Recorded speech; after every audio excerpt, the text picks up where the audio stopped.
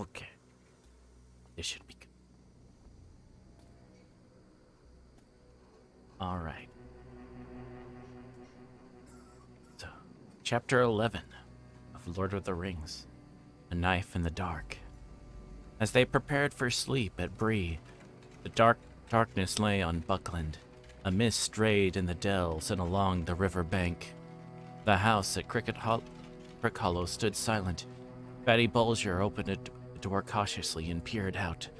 A feeling of fear had been growing on him all day, and he was unable to go to rest or go to bed. There was a brooding threat in the breathless night air. As he stared out into the gloom, a black shadow moved upon under the trees. The gate seemed to open of its own accord, and close again. Close again without a sound. Terror seized him.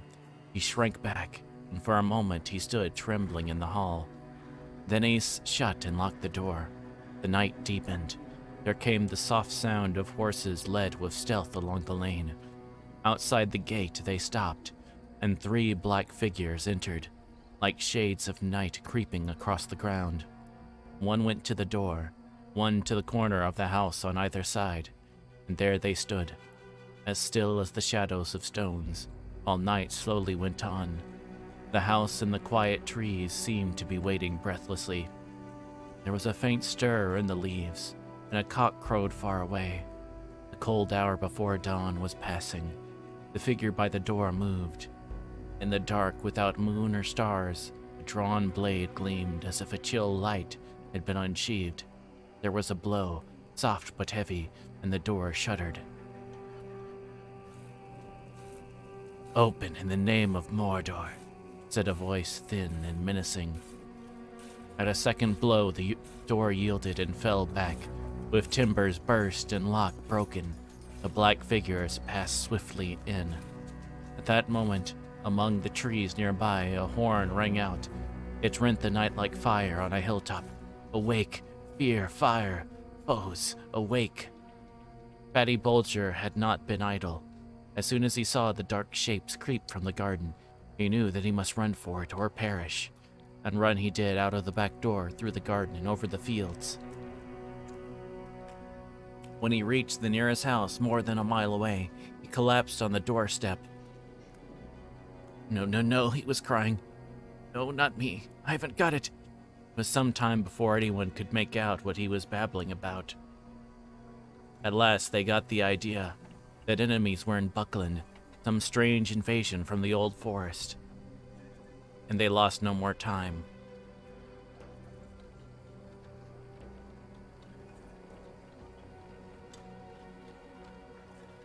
Fear, fire, foes. The brandy bucks were blowing the horn call of Buckland that had not been sounded for a hundred years, not since the white wolves came in the fell winter, when the brandywine was frozen over. Awake, wake. Far away, answering horns were heard. The alarm was spreading. The black figures fled from the house. One of them left let fall a hobbit cloak on the step. As he ran, in the lane, the noise of hoofs broke out, and gathering to a gallop, went hammering away in the darkness. All about Crick Hollow, there was the sound of horns blowing, and voices crying, and feet running. But the black riders rode like a gale to the north gate. Let the little people blow. Sauron would, would deal with them later. Meanwhile, they had another errand. They knew now that the house was empty and the ring had gone. They rode down the guards at the gate and vanished from the Shire. In the early night, Frodo woke from deep sleep, suddenly, as if some sound or presence had disturbed him. He saw that Strider was sitting alert in his chair. His eyes gleamed in the light of the fire, had been tended and was burning brightly, but he made no sign or movement. Frodo soon went to sleep again, but his dreams were again troubled with the noise of, of wind and of galloping hoofs. The wind seemed to be curling around the house and shaking it. And far off he heard a horn blowing wildly. He opened his eyes and heard a cock crowing lustily in the inn yard. Strider had drawn the curtains and pushed back the shutters with a clang. The first gray light of day was in the room, and a cold air was coming through the open window. As soon as Strider had roused them all, He led the way to their bedrooms. When they saw them, they were glad that they had taken his advice. The windows had been forced open and were swinging, and the curtains were flapping. The beds were tossed about, and the, bolst- the bolsters slashed and flung upon the floor. The brown mat was torn to pieces. Strider immediately went to fetch the landlord. Poor Mr. Butterbur looked sleepily, looked sleepy and frightened. He had Clark hardly closed his eyes all night, so he said, but he had never heard a sound. Never has such a thing happened in my time, he cried, raising his hands in order. Guests unable to guests unable to sleep in their best beds, and good bolsters ruined and all. What are we coming to? Dark times, said the Strider. But for present you may be left in peace. When ye have got rid of us, we will leave at once. Never mind about breakfast. A drink and a bite standing will have to do. We shall be packed in a few minutes. Mr. Butterbur hurried off to see that their ponies were, were got ready and to fetch them a bite. Very soon he came back in dismay. The ponies had vanished. The stable doors had all had had all been opened in the night, and they were gone. Not only Merry's ponies, but every other horse and beast in the place. Frodo was crushed by the news. How could they hope to reach Rivendell on foot, pursued by mounted enemies? They might as well set out for the moon. Strider sat silent for a while, looking at the hobbits, as if he was weighing up their strength and courage. Ponies would not help us to escape horsemen, he said at last, thoughtfully, as if he, he guessed what Frodo had in mind. We should not go much slower on foot, not on the roads that I mean to take. I was going to walk in any case. It is the food in stores that trouble me. We cannot count on getting anything to eat between here and Rivendell, except what we take with us, and we ought to take plenty to spare, for we may be delayed, or forced to go round about, far out of the direct way. How much are you prepared to carry on your backs? As much as we, as much as we as we must, said Pippin with a sinking heart, but trying to show that he was tougher than he looked or felt. I can can carry enough for two, said Sam defiantly. Can't anything be done, Mr. Butter? Er, asked Frodo. Can't we get a couple of ponies in the village? Or even just for the baggage? I don't suppose we could hire them, but we might be able to buy them, he added doubtfully, wondering if he could afford it. I, doubt it, said the landlord unhappily. The two or three riding ponies that there were in Bree were stabled in my yard. They're gone. As for other animals, horses or ponies, or draught or whatnot, there are very few of them in Bree, and they won't be for sale. But I'll do what I can. I'll rout out Bob and send him round as soon as, soon as may be. Yes, said Strider reluctantly. You had better do that. I'm afraid we shall have to try to get one pony at least. But so ends all hope of starting early and slipping away quietly. We might as well have blown a horn to announce our departure. That was part of their plan, no doubt. There is one cr there's one crumb of comfort, said Merry, and more than a crumb, I hope. We can have breakfast while we wait and sit down to it. Let's get hold of Nob. In the end, there was more than three hours' delay. Bob came back with the report that no horse or pony was to be got for love or money in the neighborhood, except one. Bill Ferny had one that he might possibly sell. A poor old half-starved creature it is, said Bob, but he won't pay part with it for less than thrice its worth, seeing how you're placed. Not if I know it's Bill Ferny. Bill Ferny, said Frodo. Isn't there some trick? Wouldn't the beast bolt back to him with all our stuff? Or help in tracking us or something? I wonder, said Strider, but I cannot imagine any animal running home to him. Once it got away, I fancy this is only an afterthought of kind Master Ferny's, just a way of increasing his profits from the affair. The chief danger is that the poor beast is probably at death's door, but there does not seem any choice. What does he want for it?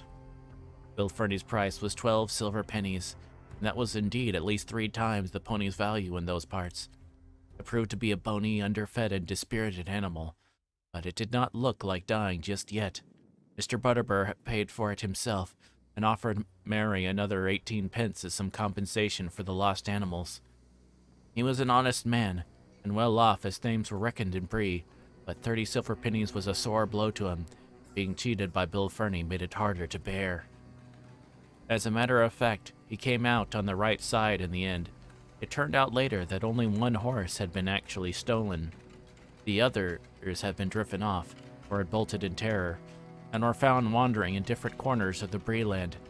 Merry po Merry's ponies had escaped altogether, and eventually, having a good deal of sense, they made their way to the downs in search of Fatty Lumpkin. But they came under the care of Tom Bombadil for a while, and were well off. But when news of the events at Bree came to Tom's ears, he sent them to Mr. Butterbur, who thus got five good beasts at a very fair price. They had to work harder in Bree, but Bob treated them well, so on the whole they were lucky. They missed a dark and dangerous journey, but they never came to Rivendell. However, in the meanwhile, for all Mr. Butterbur knew, his money was gone for good, or, or for bad, and he had other troubles for there was a great commotion as soon as the remaining guests were astir and heard news of the raid on the inn. The southern travelers had, had lost several horses and blamed the innkeeper loudly. It became known that one of their own number had also disappeared into the, in the night, none other than Bill Ferny's squint-eyed companion. Suspicion fell on on him at once. You pick up the you pick up with the horse thief and bring him to my house, said Butterbur angrily. You ought to pay for all the damage yourselves and not come shouting at me. Go and ask Mr. Ferny what where your handsome friend is. It appeared that he was nobody's friend, and nobody could recollect what he had joined their party. After their breakfast, the hobbits had to repack and get together further supplies for the longer journey they were now expecting. It was close on 10 o'clock before they at last got off. But that, by that time, the whole of Bree was buzzing with excitement. Frodo's vanishing trick, the appearance of the Black Horseman, the robbing of the stables, and not least the news that Strider the Ranger had joined the mysterious hobbits, made such a tale as would last for many uneventful years. Most of the inhabitants of Bree and, and Staddle, and, mi and many even from Combe and Archet, were crowded in the in the road to see the travelers start. The other guests in the inn were at the doors or hanging out of the windows. Strider had changed his mind and decided to leave Bree by the main road. Any attempt to set off across country at once would only make matters worse. Half the inhabitants would follow them, see what they were, were up to, and to prevent them from trespassing. They said farewell to Nob and Bob, and took leave of Mr. Butterbur with many thanks. I hope we shall meet again some day, when things are merry once more, said Frodo. I should like nothing better than to stay in our house in peace for a while. They tramped off, anxious and downhearted, under the eyes of the crowd. Not all the faces were friendly, nor all the words that were shouted. But Strider seemed to be held in awe by most of the Breelanders, and those that he stared at shut their mouths and drew away. He walked in front with Frodo. Next came Merry and Pippin, and last came Sam leading the pony, which was laden with as much of their baggage as they had the heart to get to give it. But already it looked less dejected, as if it approved of the change in its fortunes. Hi, Avian, and thank you for the fluid check.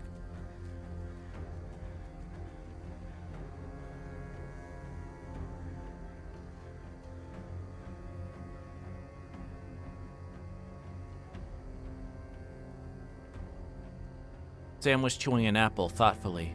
He had a pocket full of them, a parting present from Nob and Bob.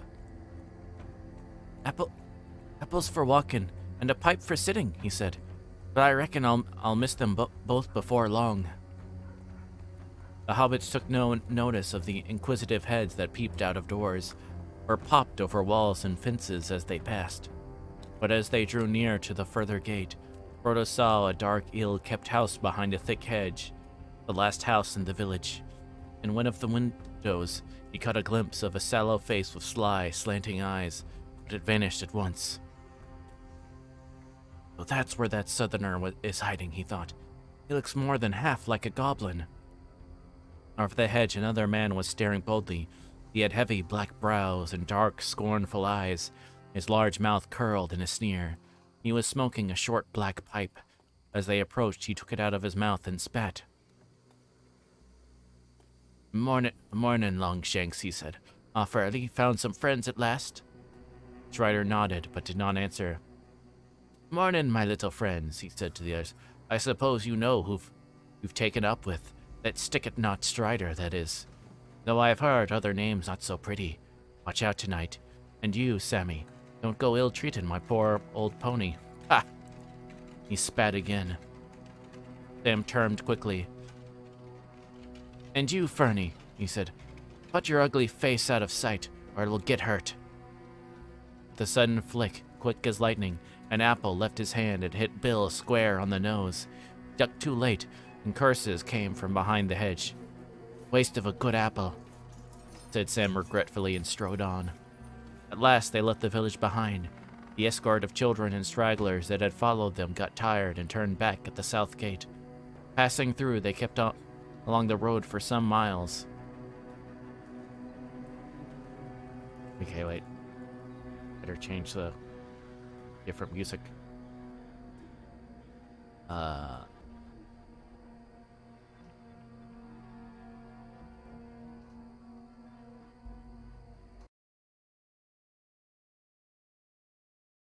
Yeah.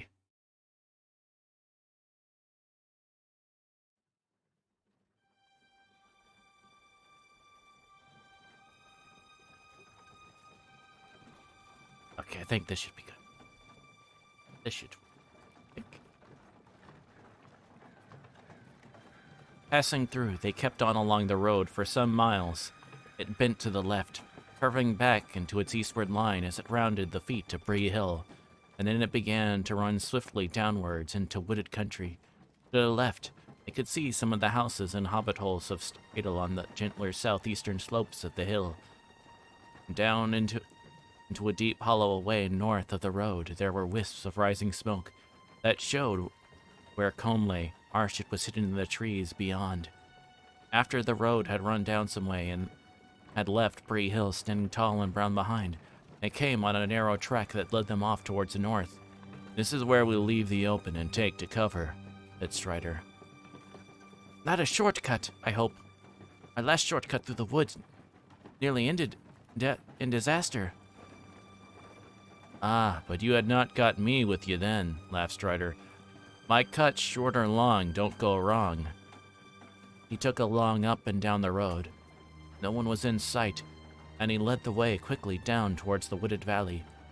His plan, as far as they could understand it without knowing the country, was to go to, towards Archet at first, but to bear right and pass it, it on the east, and then to steer as straight as he could over the wild lands to Weathertop Hill. And that way they would, if all went well, cut off a great loop of the road, which further on bent southwards to avoid the Midgewater marshes. But of course, they would have to pass through the marshes themselves, and Strider's description of them was not encouraging. However, in the meanwhile, walking was not unpleasant. Indeed, if it had not been for the disturbing events of the night before, they would have enjoyed this part of the journey better than any up to that time.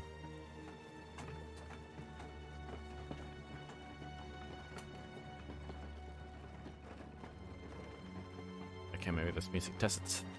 Sounds like it doesn't fit this. Chapter's called Knife in the Dark, so I don't...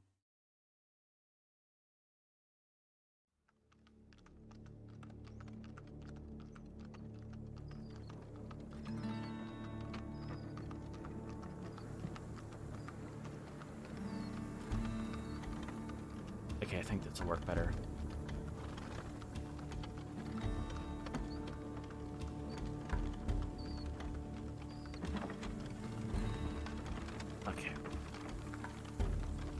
The woods in the valley were still leafy and full of color, and seemed peaceful and wholesome. Strider guided them confidently among the many crossing paths. Although left to themselves, they would soon have been at lost. He was taking a wandering course with many turns and doublings, put off any pursuit. Bill Ferny will have watched where we left the road for certain, he said. Though I don't think he will follow us himself. He knows the land round here well enough, but he knows he is not a match for me in a wood. It is what he may tell others that, that I'm afraid of. I don't suppose they are far away. If they think we have made for Archet, so much the better. Whether because of Strider's skill or for some other reason, they saw no sign and heard no sound of any other living thing all that day. Neither two-footed, except birds, nor four-footed, except one fox and a few squirrels. The next day they began to steer a steady course eastwards. Still, all was quiet and peaceful. On the third day out from Bree, they came out of the Chetwood. The land had been falling steadily ever since they turned aside from the road, and they now entered a wide, flat expanse of country, much more difficult to manage. They were far beyond the borders of the Breeland, out in the pathless wildernesses, and drawing near to the Midgewater marshes. The ground now became damp, damp, and in places boggy, and here and there they came upon pools, and wide stretches of reeds and brushes filled with the warbling of little hidden birds. They had to pick their way carefully to keep both dry-footed and on their pro proper course. At first they made fair progress, but as they went on, their passage became slower and more dangerous. The marshes were bewildering and treacherous, and there was no permanent trail even for rangers to find through their shifting quagmires. The fl flies began to torment them, and the air was full of clouds of tiny midges that that crept up their sleeves and breeches and into into their hair. Hmm. That that sounds That sounds fun.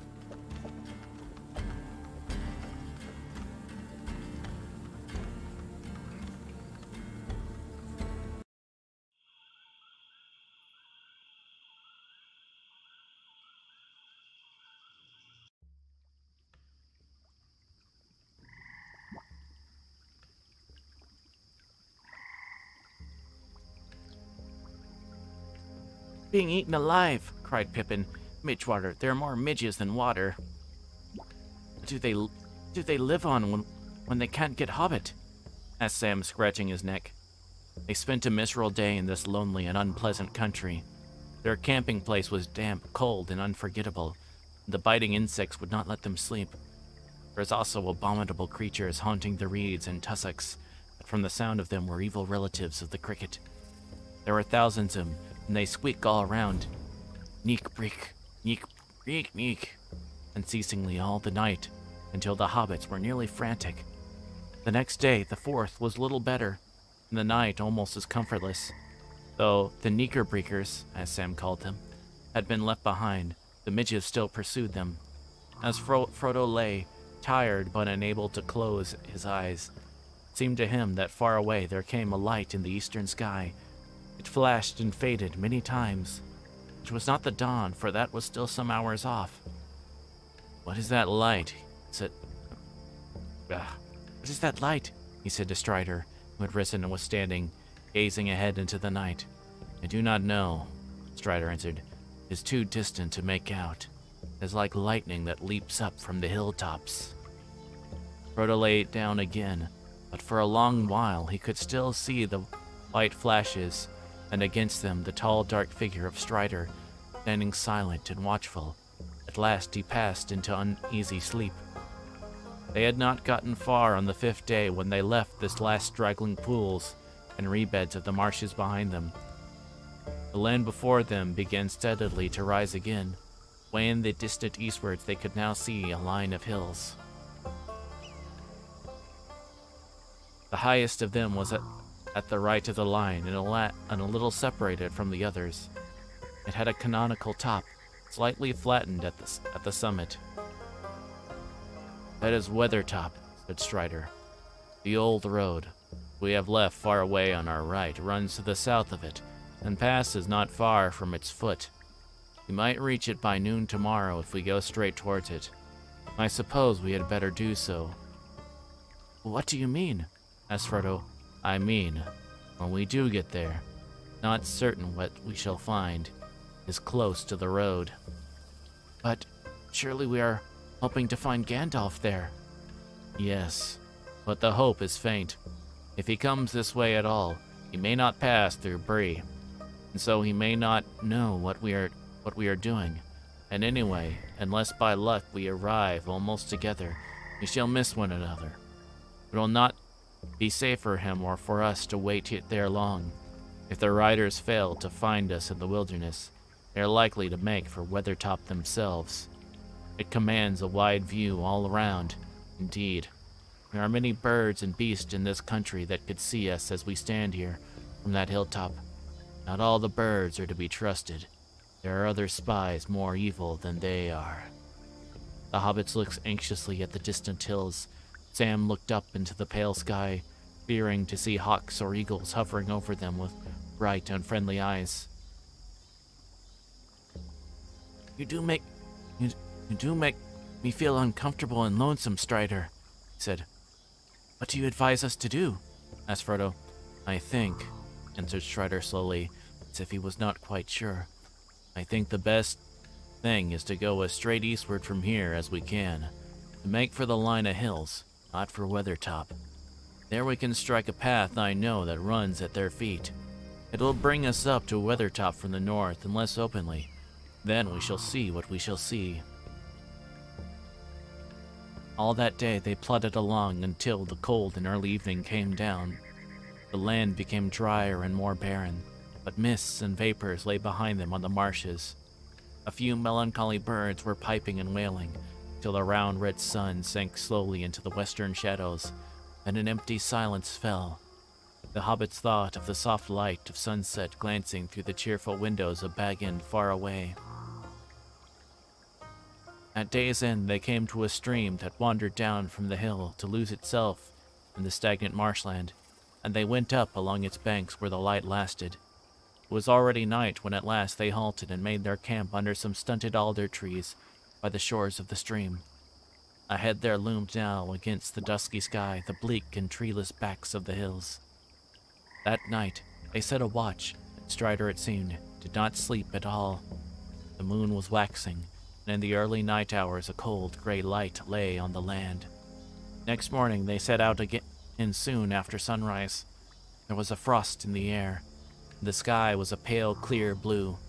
The hobbits felt refreshed, as if they had had a night of unbroken sleep.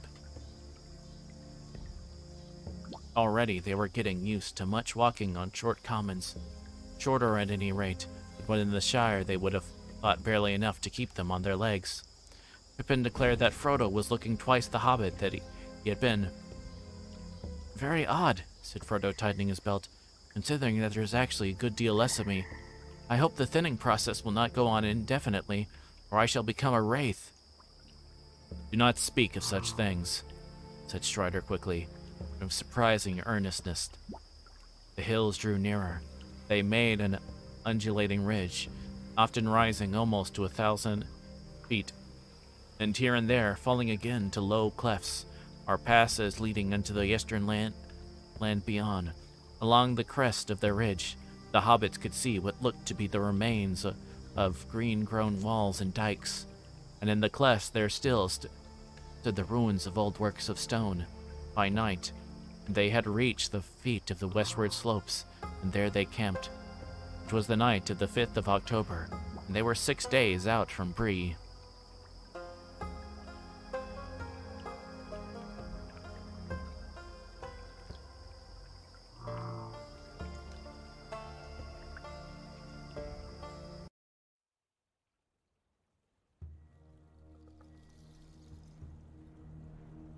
In the morning, they found, for the first time since they had left the Chetwood, a track plain to see.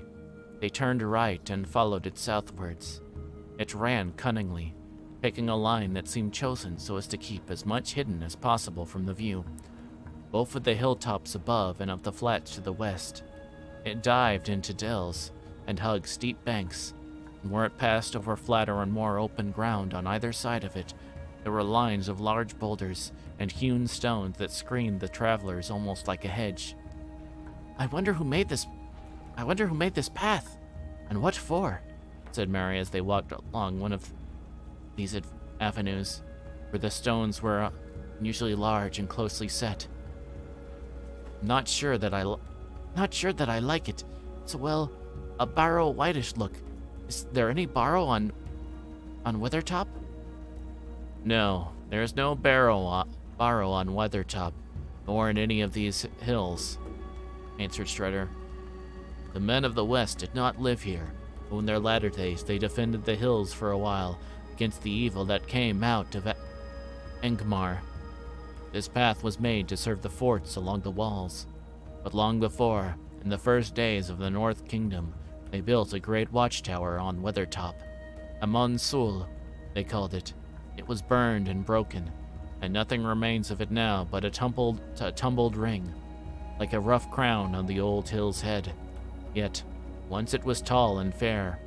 It is told that Elendil stood there watching for the coming of Gil-galad out of the west in the days of the last alliance. The hobbits gazed at Strider. It seemed that he was le learned in old lore, as well as in the ways of the wild. Who is Gil-galad? Asked Merry, but Strider did not answer, and seemed to be lost in thought. Suddenly a low voice murmured, Gil-galad was an elven king. Of him the harpers sadly sing, the last whose realm was fair and free between the mountains and the sea. His sword was long, his lance was keen, his shining helmet afar was seen. The countless stars of heaven's field were mirrored in his silver shield. But long ago he rode away, and where he dwelleth none can say. For into darkness fell his star, in Mordor, where the shadows are. The others turned in amazement, for the voice was Sam's. Don't, don't stop, said Merry. That's all I know, stammered Sam, blushing. I learned it from Mr. Bilbo when I was a lad. He used to tell me tales like that. Knowing how I was always one for hearing about elves. It was Mr. Bilbo as taught me my letters. He was mighty book learned was was dear old Mr. Bilbo, and he wrote poetry. He wrote what I have just said. He did not make it up, said Strider. It is part of the lay that is called the Fall of Gil-galad, which is in an ancient tongue. Bilbo must have translated it. I never knew that. There was a lot more, said Sam. All about Mordor. I didn't learn that part. It gave me the shivers. I never thought I should be going that way myself. Going to going to Mordor? cried Pippin. I hope it won't come to that. Do not speak that name so loudly, said Strider.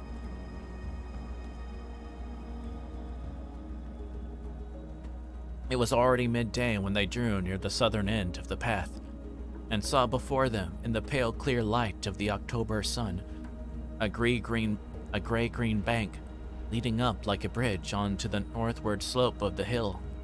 They decided to make for the top at once, while the daylight was broad. Concealment was no longer possible, and they could only hope that no enemy or spy was observing them. Nothing was to be seen moving on the hilltop, on the hill. If Gandalf was anywhere about, there was no sign of him. On the western flank of Weathertop, they found a sheltered hollow, at the bottom of which there was a bowl-shaped dell with grassy sides.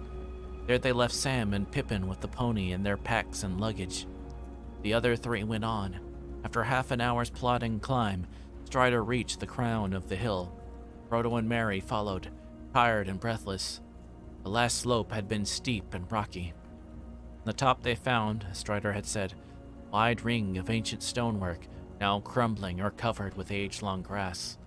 But in the center, a cairn of broken stones had been piled. They were blackened as with fire. About them the turf was burned to the roots, and all within the ring the grass was scorched and shriveled as if flames had swept the hilltop but there was no sign of any living thing. Standing upon the rim of the ruined circle, they saw all round below them a wide prospect. For the most parts of lands empty and fe featureless, except for patches of woodland away to the south, beyond which they caught here and there the glint of distant water. Beneath them on the southern side there ran like a ribbon the old road, coming out of the west and winding up and down, until it faded behind a ridge of dark land to the east. Nothing was moving on it. Following its line eastward with their eyes, they saw the mountains. The nearer foothills were brown and somber. Behind them stood taller shapes of gray, and behind those again were high white peaks glimmering among the clouds. Well, here we are, well, here we are, said Merry, and very cheerless and uninviting it looks. There is no water and no shelter and no sign of Gandalf. But I don't blame him for not waiting. He ever came here. I wonder, said Strider, looking around thoughtfully. Even if he was a day or two behind us at Bree, he could have arrived here first. He can ride very swiftly when he need presses. Suddenly he stooped and looked at the stone on the top of the cairn. It was flatter than the others, and whiter, as if it had escaped the fire. He picked it up and examined it, turning into his fingers. This has been handled recently, he said. What do you think of these marks? On the flat underside, Frodo saw some scratches. There seems to be a stroke, a dot, and three more strokes, said. The stroke on the left might be a G rune with thin branches, Strider. Might be a sign left by Gandalf, but one cannot be sure. The scratches are fine, they certainly look fresh, but the marks might mean something quite different and have nothing to do with us. Rangers use runes, and they come here sometimes. What could they mean, even if Gandalf made them? asked Merry. I should say, answered Strider, that they stood for G3 and were a sign that Gandalf was here on October the 3rd. That is three days ago now. Oh, hello, welcome in. Thank you for coming by.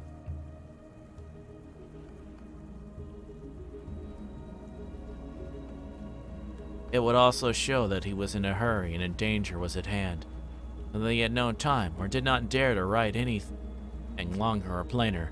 If that is so, we must be wary. Oh, it's going well. Thank you very much for asking. I hope yours is going well too.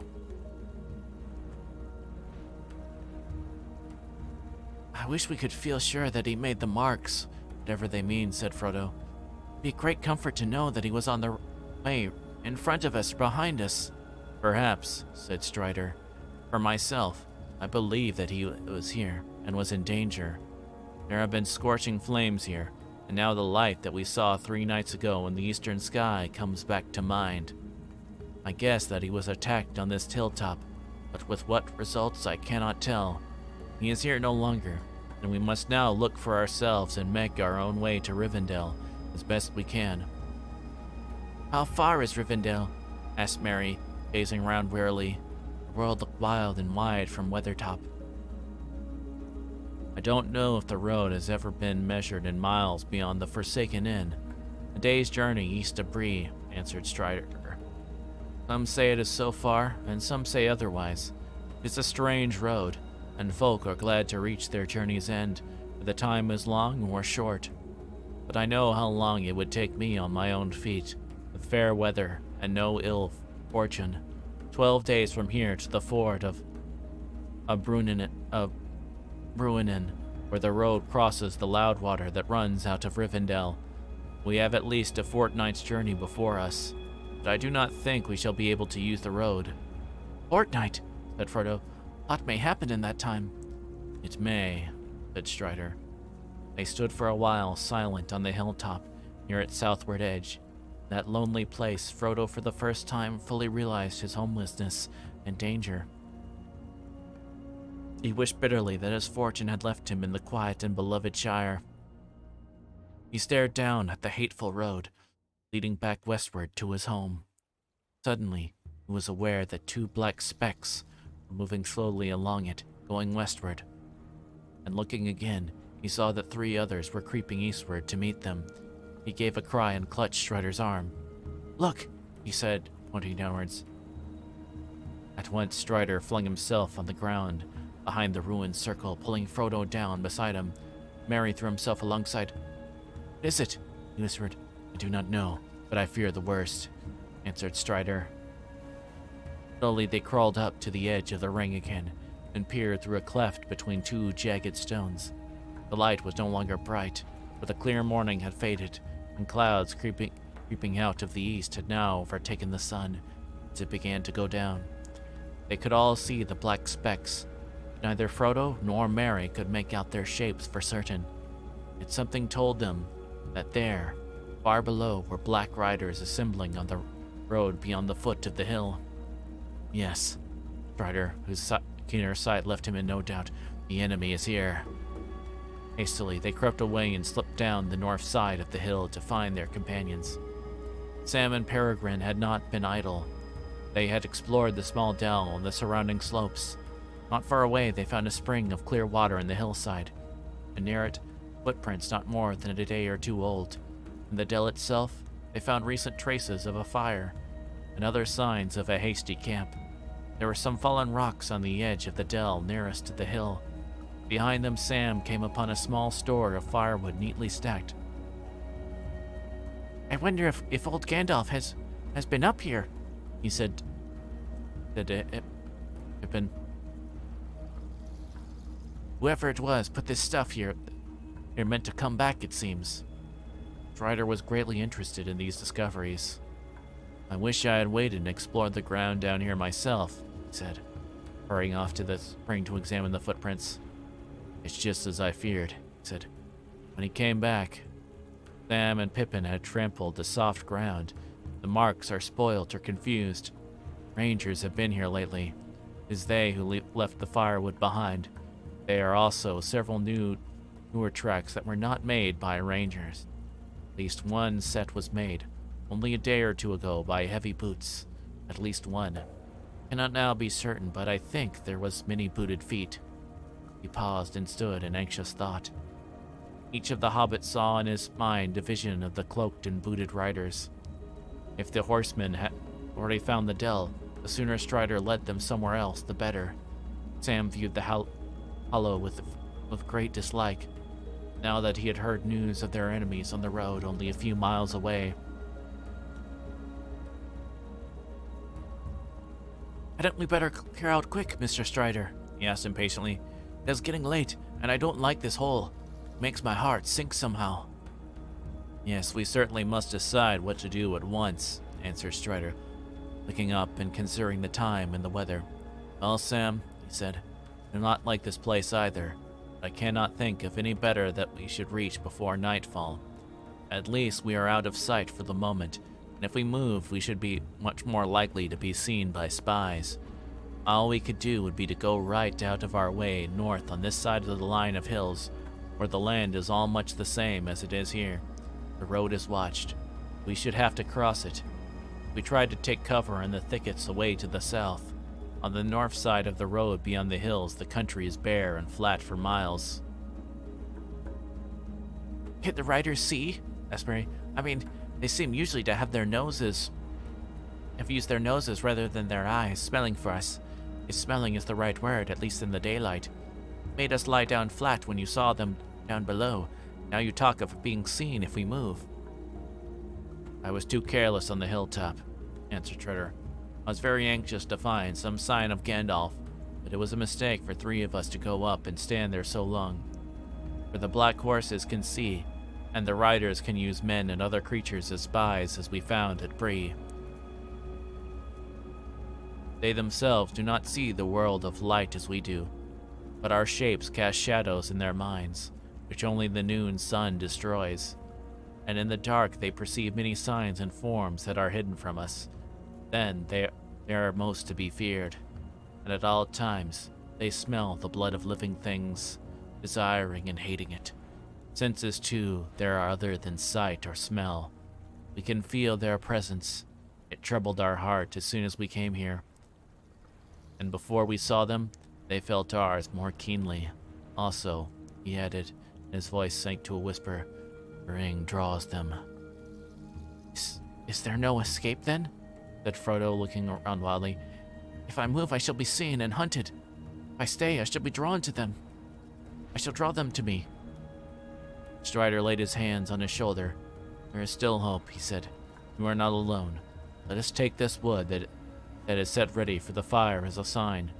There's little shelter or defense here, but fire shall serve for both. Sauron can put fire to his evil uses, as he can all things. These riders do not love it, and fear those who wield it. Fire is our friend in the wilderness. Maybe, muttered Sam. It is also as good a way of saying here we are as I can think of, bar shouting. Down in the lowest and most sheltered corner of the dell, they lit a fire, prepared a meal. The shades of evening began to fall, and it grew cold. They were suddenly aware of great hunger, for they had not eaten anything since breakfast, but they dared not, not make more than a frugal supper. Lands ahead were empty of all save birds and beasts, unfriendly places deserted by all the races of the world. Rangers passed at times beyond the hills, but there were few, few and did not stay. Other wanderers were rare and of evil sorts. Trolls might stray down at times out of the northern valleys of the Misty Mountains. Only on the road would travelers be found, most often dwarves, hurrying along on business of their own, with no help and few words to spare for strangers. I don't see how our, our food can be made to last, said Frodo. We've been careful enough the last few days, and this supper is no feast, but we have used more than we ought if we have two weeks still to go and perhaps more. There is food in the wild, said Strider. Berry, root, and herb. And I have some skill as a, as a hunter at need. You need not be afraid of starving before winter comes. But gathering and catching food is long and weary work, and we need haste. So tighten your belts, and think with hope of the tables of Elrond's house. Cold increased as darkness came on. Peering out from the edge of the dell, they could see nothing but a gray land now vanishing quickly into shadow. The sky above had cleared again, and was slowly filled with twinkling stars. Frodo and his companions huddled round the fire, wrapped in every garment and blanket they possessed, but Strider was content with a single cloak, and sat a little apart, drawing thoughtfully at his pipe. As night fell, and the light of the fire began to shine out brightly, he began to tell them tales to keep their minds from fear. He knew many histories and legends of long ago, of elves and men and the good and evil deeds of the elder days. They wondered how old he was, and where he had learned all this lore. Tell us of Gil-galad, said Merry suddenly, when he paused at the end of a story of the elf kingdoms. Do you know any more of that old, old day that you spoke of? I do indeed, answered Strider. So also does Frodo, for it concerns us closely. Merry and Pippin looked at Frodo, who was staring into the fire. I know only the, the little that Gandalf has told me, said Frodo slowly. Gil-galad was the last of the great elf kings of Middle-earth. Gil-galad is starlight in their tongue. With Elendil, the elf friend, he went to the land of... No, said Strider interrupting. Do not think that the tale should be told now with the servants of the enemy at hand. We win through the, to the house of Elrond, you may hear it there told in full. Then... Then tell us some of the other tale of the old days, begged Sam. A tale about the elves before the Faden time. I'd dearly like to hear more about elves. The dark seems to press round so close. I will tell you the tale of Tinuviel, said Strider, in brief, for it is a long tale of which the end is not known, there are none now, except Elrond, that remember it aright as it was told of old. It is a fair tale, though it is sad, as are all the tales of Middle-earth, and yet it may lift up your hearts. He was silent for some time, and then he began not to speak, but to chant softly. The leaves were long, the grass was green, the hemlock umbels tall and fair, and in the glade a light was seen, of stars and shadow shimmering. Tinuviel was dancing there, to the music of a pipe unseen, and light of stars was in her hair, and in her raiment glimmering. There Beren came from mountains cold, and lost he wandered under leaves. And where the elven river rolled, he walked alone and sorrowing. He peered through the hemlock leaves and saw in wonder flowers of gold upon her mantle and her sleeves, and her hair like shadow following. Enchantment heal, healed his weary feet, that over hills were doomed to roam, and forth he hastened, strong and fleet, and grasped at moonbeams glistening. Through woven, through woven woods and elven home, he lightly fled on dancing feet, and left him lonely still to roam. In the silent forest listening, he heard there oft the flying sounds of feet as light as linden leaves, or music welling underground in, ho in hidden hollows quivering. Now withered lay the hemlock sheaves, and one by one with sighing sound, whispering fell the beechen leaves in the wintry woodland wavering. He sought her ever, wandering far where leaves of years were thickly strown, strewn by light of moon and ray of star, and frosty heavens shivering. Her mantle glinted in the moon, as on a hilltop high and far. She danced, and at her feet was strewn a mist of silver quivering. When winter passed, she came, she came again, and her song released the soot and spring. Like rising lark and falling rain, and melting water bu bubbling, he saw the elven flowers spring about her feet and healed again. He longed by her to dance and sing upon the grass untroubling. Again she fled, but swift he came. Tinuvel, Tinuviel, he called her by her elvish name. There she halted listening. One moment stood she, and a spell his voice laid on her. Beren came, and doom fell on Tinuviel, that in his arms lay glistening. As Beren looked into her eyes within the shadow up, oh, shadows of her hair, the trembling starlight of the skies, he saw there mirrored shimmering, Tinuviel the elven fair, immortal maiden elven wise, about him cast her shadowy hair, and arms like silver glimmering. Long was the way that of, long was the way that fate them bore, o'er stony mountains cold and gray, through halls of iron and darkling door, and woods of nightshade morrowless. The sundering seas between them lay, and yet at last they met once more, and long ago they passed away, in the forest singing sorrowless. Strider sighed and posed before he spoke again. That is a song, he said, in the mode of that is called ann-thennath among the elves, but is hard to render in our common speech. And this is but a rough echo of it. It tells of the meeting of Beren, son of Barahir, and, and Luthien Tinuviel. Beren was a mortal man, but Luthien was the daughter of Thingol, a king of elves upon Middle-earth when the world was young, and she was the fairest maiden that has ever been among all the children of this world. As the stars above the mists of the northern lands was her loveliness, and in her face was a shining light.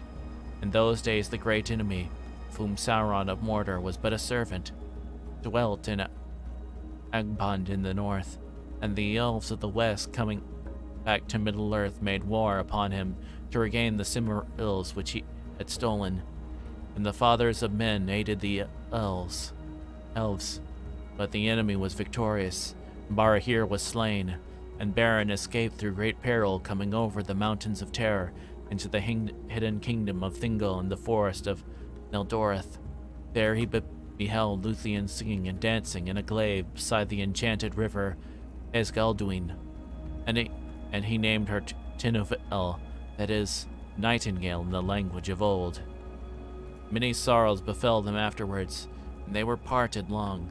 Tinuviel rescued Beren from the dungeons of Sauron, and together they passed through great dangers, and cast down even the great enemy from his throne, and took from his iron crown one of the three Silmarils, brightest of all jewels, to be the bride price of Luthien to Thingol, her, her father.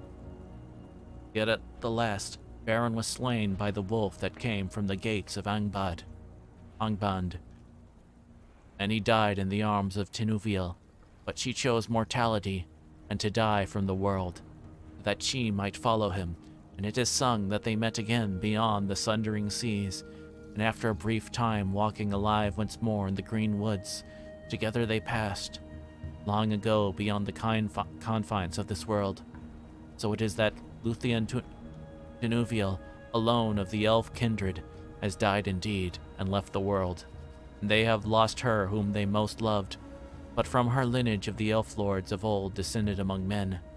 There live still those of whom Luth Luthien was the foremother, and it is said that her line shall never fail.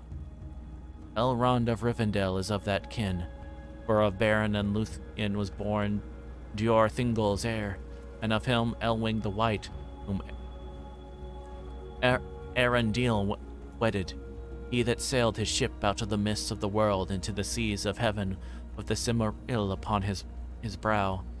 And of er- Arundel came the kings of Numenor, that is, Westernesse. As Strider was, was speaking, they watched his strange, eager face, dimly lit in the red glow of the wood fire. His eyes shone, and his voice was rich and deep. Above him was a black, starry sky. Suddenly, a pale light appeared over the crown of the top behind him. The waxing moon was climbing slowly above the hill that overshadowed them, and the stars above the hilltop faded.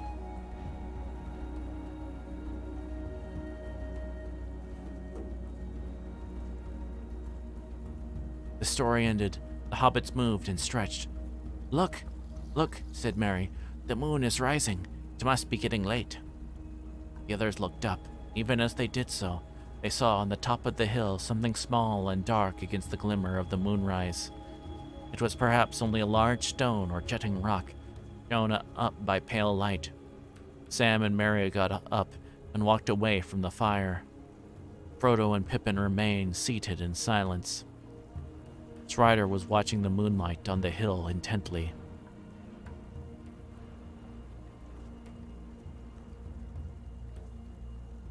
All seemed quiet and still, but Frodo felt a cold dread creeping over his heart.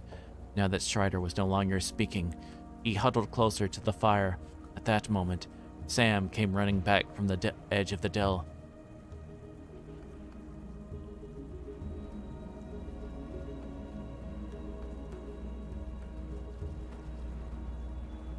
Gonna need a little different.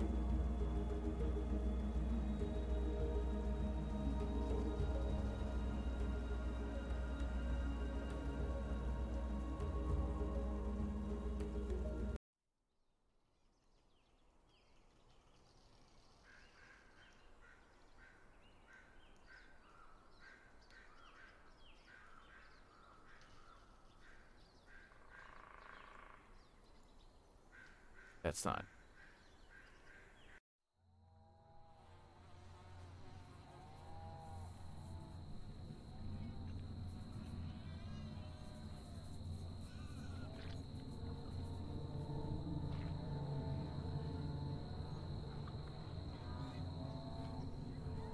Ah, sorry, I'm having.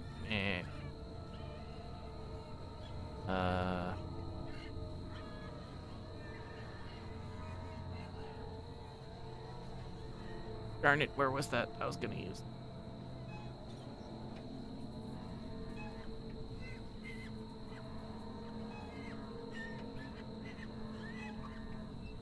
That's not the right one.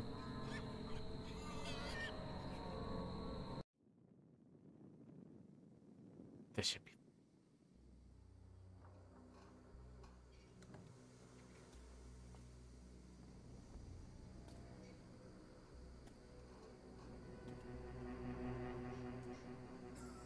I don't know what it was, he said, but I suddenly felt afraid. I daren't go outside this dell for any money. I felt that something was deep up, was creeping up the slope. Did you see anything? asked Frodo, springing to his feet. No, sir, I saw nothing, but I didn't stop to look. I saw something, said Merry, or thought I did. Away westward where the moonlight was falling on the flats beyond the shadow of the hilltops. I thought there were two or three black shapes. They seem to be moving this way. Keep close to the fire, with your faces outward, cried Strider. Get some of the longer sticks ready in your hands. For a breathless time, they sat there, silent and alert, with their backs turned to the wood fire, each gazing into the shadows that encircled them. Nothing happened. There was no sound or movement in the night. Frodo stirred, feeling that he must break the silence, and longed to shout out loud. Strider. What was that? Gasped, gasped Pippin at the same moment. Over the lip of the little dell, on the side away from the hill, they felt, rather than saw, a shadow rise. One shadow or more than one. They strained their eyes, and the shadow seemed to grow. Soon there could be no, be no doubt. Three or four tall, black figures were standing there on the slope, looking down on them. So black were they that they seemed like black holes in the deep shade behind them. Frodo thought that he heard a faint hiss as of venomous breath and, a, and felt a thin, piercing chill. Then the shape slowly advanced. Terror overcame Pippin and Merry, and they threw themselves flat on the ground. Sam shrank to Frodo's side. Frodo was hardly less terrified than his companions. He was quaking as if he was bitter cold, but his terror was swallowed up in a sudden temptation to put on the ring. The desire to do this laid hold of him, and he could think of nothing else. He did not forget the barrow, nor the message of Gandalf. But something seemed to be compelling him to disregard all warnings, and he longed to yield, not with the hope of escape, or of doing anything, either good or bad. He simply felt that he must take the ring and put it on his finger. Could not speak, felt Sam looking at him, as if he knew that his master was in some great trouble, but he could not turn towards him. He shut his eyes and struggled for a while, but resistance became unbearable. At last he slowly drew out the chain and slipped the ring on the forefinger of his left hand. Immediately, though, everything else remained as before, dim and dark. The shapes became terribly clear. He was able to see beneath their black wrappings. There were five tall figures, two standing on the lip of the dell, three advancing, and their white faces burned keen and merciless eyes. Under their ma mantles were long gray robes. Upon their gray hairs were helms of silver. In their haggard hands were swords of steel. Their eyes fell on him, fell on him and pierced him as they rushed towards him. Desperate, he drew his own sword, and it seemed to him that it flickered red, as if it was a firebrand. Two of the figures halted. The third was taller than the others. His hair was long and gleaming, and on his helm was a crown. In one hand he held a long sword, and in the other a knife. Both the knife and the hand that held held it glowed with a pale light. He sprang forward, and it bore down on Frodo. At that moment, Frodo threw himself forward on the ground, and he heard himself cry out loud, Oh, Elbereth, Gilthoniel!" At the same time, he struck at the feet of his enemy. A shrill cry rang out in the night, and he felt a pain like a dart of poisoned ice pierced his, his left shoulder. Even as he swooned, he, ca he caught, as through a swirling mist, a glimpse of Strider leaping out of the darkness with a, with a flaming brand of wood in either hand. With a last effort, Frodo, dropping his sword, slipped the ring from his finger and closed his right hand tight upon it. Yes, and with as the end of chapter 11.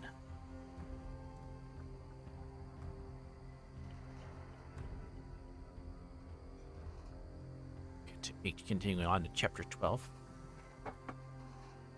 Second.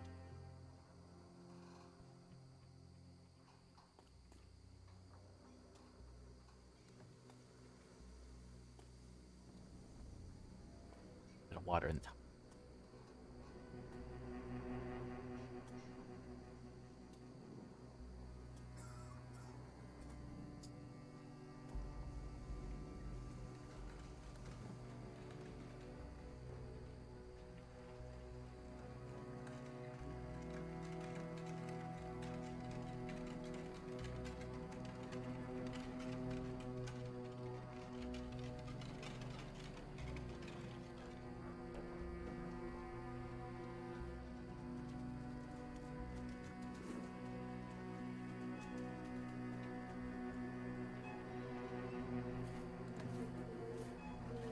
Sorry, bumped into the mic.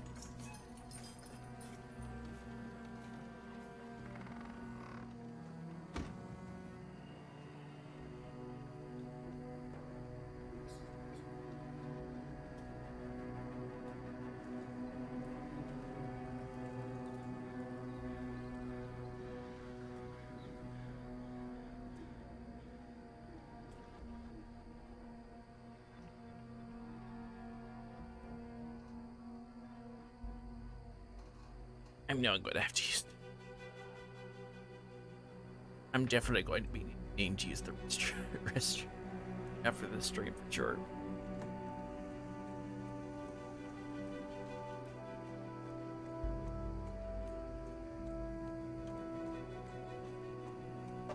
Okay. Chapter 12 Flight to the Ford. Okay, I think we'll need some different music. Like the Fords. Ford, Ford, Ford, Fjord, Ford. Fjord. F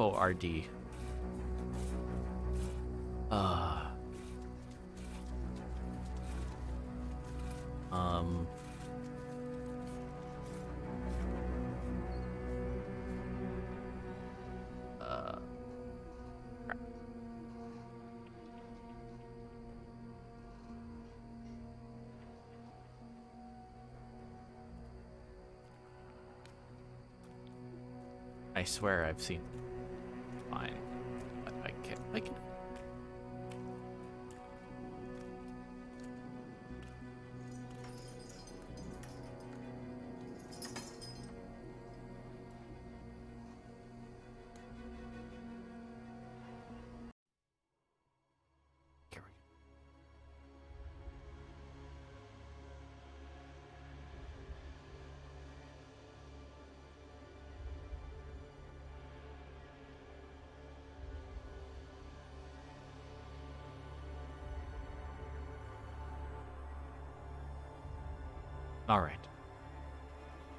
Should be good now.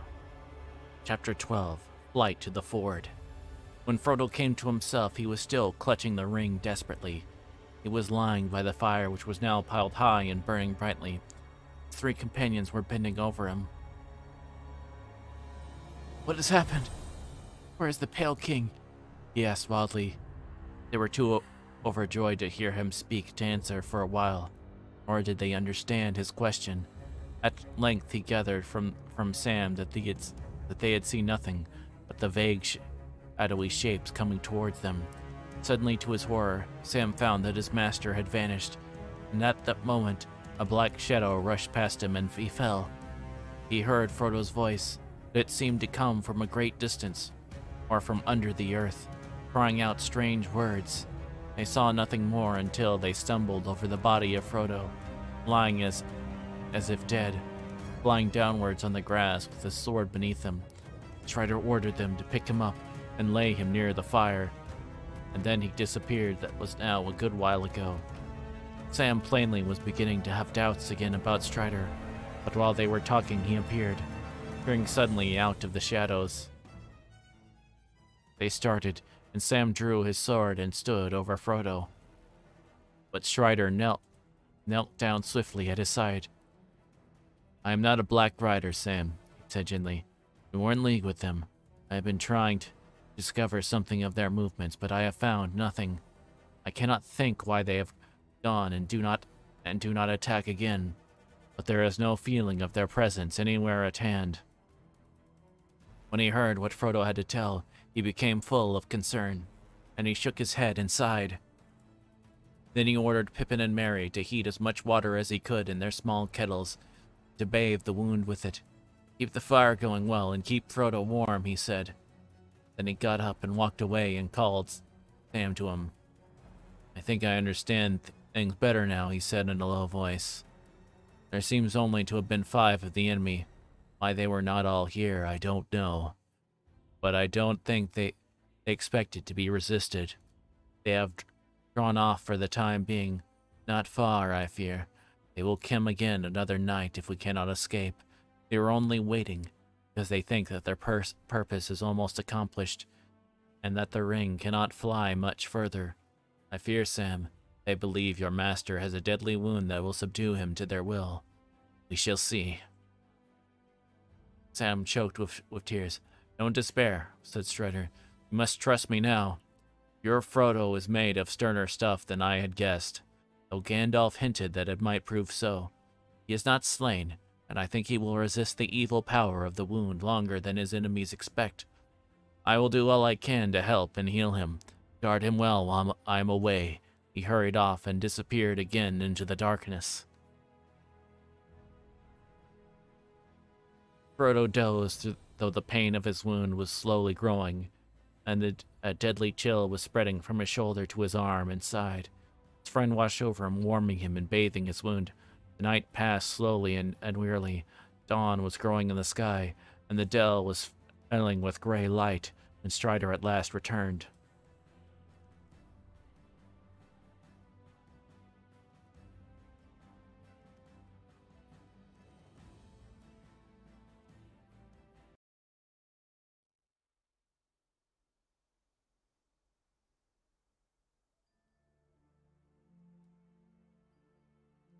Look, he cried, and stooping, he lifted from the ground a black cloak that had lain there hidden by the darkness. A foot above the lower hem there was a slash. This was the stroke of Frodo's sword, he said, the only hurt that it did to his enemy. I fear, for it is unharmed, but all blades perish that pierce that dreadful king. More deadly to him was the name of Elbereth. And more deadly to Frodo was this. He stooped again and lifted up a long, thin knife. There was a cold gleam in it. As Strider raised, they saw that near the near the end its edge was notched, and the point was broken off. But even as he held it up in the glowing light, they gazed in astonishment, for the blade seemed to melt and vanish like a smoke in the air, leaving only the hilt in, in Strider's hand. Alas, he cried, was this accursed knife that gave the wound. Do you now have the skill and, and healing to match such evil weapons? But I will do what I can. He sat down on the ground and taking the dagger hilt laid it on his knees, and he sang over it a slow song in a strange tongue. and setting it aside, he turned to Frodo and in a soft tone spoke words the others could not catch. From the pouch at his belt, he drew out the long leaves of a plant. These leaves, he said, I have walked far to find. This plant does not grow in the bare hills, but in the thickets away south of the road I found, found it in the dark by the scent of its leaves. He crushed a leaf in his finger and gave out and it gave out a sweet and pungent fragrance. Fortunate that I could find it, for it is a healing plant that men of the West brought to Middle-earth. Athelas, they named it. that grows now sparsely and only near places where they dwelt or camped of old. It is not known in the north, except to some of those who wander in the wild. It has great virtues, but over such a wound as this, its healing powers may be small. He threw the leaves into boiling water and bathed for, for the shoulder. The fragrance of the steam was refreshing, those that were unhurt felt their, their minds felt their minds calmed and cleared. The herb had also some power over the wound, for Frodo felt the pain and also the sense of a frozen cold lessen in his side, but the life did not return to his arm, and he could not raise or use his hand. He bitterly regretted his foolishness and reproached himself for weakness of will. For he now perceived that in putting on the ring, he obeyed not, not his own desire, but the commanding wish of his enemies. He wondered if he would if he would remain maimed for life, and how they would now manage to continue their journey. He felt too weak to stand.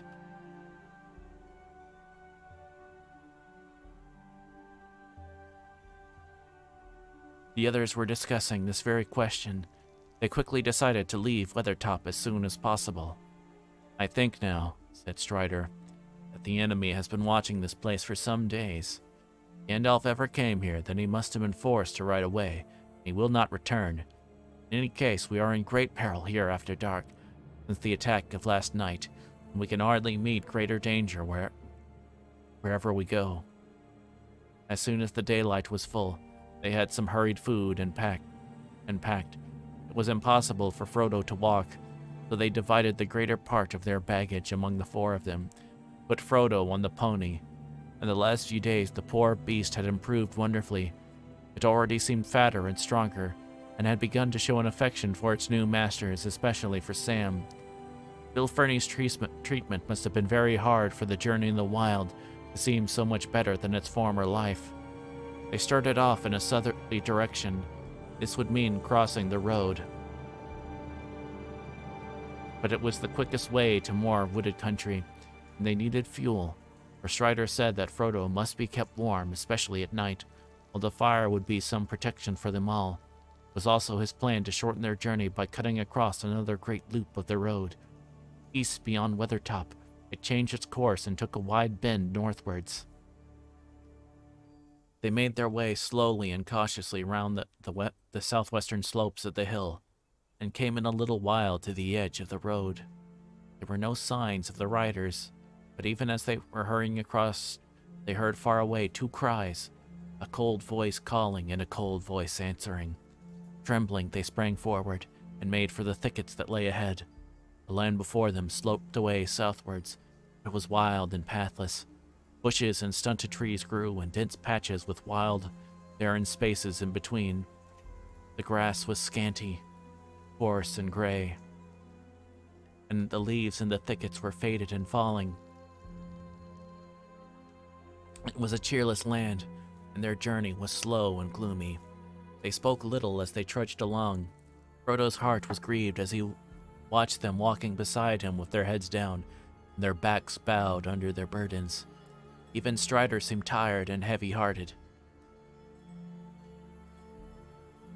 Before the first day's march was over, Frodo's pain began to grow again, but he did not speak of it for a long time. Four days passed, without the ground or the scene changing much except, except that behind them, Weathertop slowly sank, and before them the distant mountains loomed a little nearer. Yet since that far cry they had seen and heard no sign that the enemy had marked their flight or followed them. They dreaded the dark hours, kept watch in pairs by night, expecting at any time to see the black shape stalk, stalking in the gray in the gray night, dimly lit by the cloud-veiled moon. But they saw nothing, and heard no sound but the sign of withered leaves and grass. Not once did they feel the sense of present evil that had assailed them before the attack in the dell. It seemed too much to hope the riders had already lost their trail again. Perhaps they were waiting to make some ambush in a narrow place. At the end of the fifth day, ground began once more to rise slowly out of the wide shallow valley into which they had descended. Strider now turned their course again north northeastwards, and on the sixth day, they reached the top of a long, slow climbing slope, saw far ahead a, a huddle of wooded hills. Away below them, they could see the road sweeping round the feet of the hills, and to their right, a gray river gleamed pale in the thin sunshine. In the distance, they glimpsed yet another river on a stony valley half veiled in mist. I'm afraid we must go back to the road here for a while, said Strider. We have now come to the to the river Hoarwell that the elves call Mitheithel. It flows down of out of the Ettenmoors, Troll Fells north of Rivendell, and joins the Loudwater away in the south. Some call it the Grey Flood after that is a great water before it finds the sea. There is no way over it below its sources in the Ettenmoors, except by the last bridge on which the road crosses. What is that other river we can see far away there? asked Merry. That is Loudwater, the Bruinen of Rivendell, answered Strider. The road runs along the edge of the hills for many miles from the bridge, the ford of Bruinen but I have not yet thought how we shall cross that the water, one river at a time. We shall by we shall be fortunate indeed if we do if we if we do not find the last bridge held against us. Next day, early in the morning, they came down again to the borders of the road. Sam and Strider went forward, but they found no sign of any travelers or riders. Here, under the shadow of the hills, there had been some rain. Strider judged that it had fallen two days before, it washed away all footprints. No horseman had passed since then, as far as he could see. They hurried along with all the speed they could make, and after a mile or two, they saw the last bridge ahead, at the bottom of a short, steep slope. They dreaded to see black figures waiting there, but they saw none. Strider made them take cover in a thicket at the side of the road while he went forward to explore. Before long, he came hurrying back. I see no sign of the enemy, he said. I wonder very much what that means. That I have found something very strange. He held out his hand and showed a single pale green jewel. I found it in the mud in the middle of the bridge, he said. It is a beryl, an elfstone. Whether it was set there or let fall by chance, I cannot say but it brings hope to me. I will take it as a sign that we may pass the bridge, but beyond that I dare not keep to the road without some clearer token. At once they went on again. They crossed the bridge in safety, hearing no sound but the water swirling swirling against its three great arches. A mile further on, they came to a narrow ravine that led northwards through the lands on the left of the road.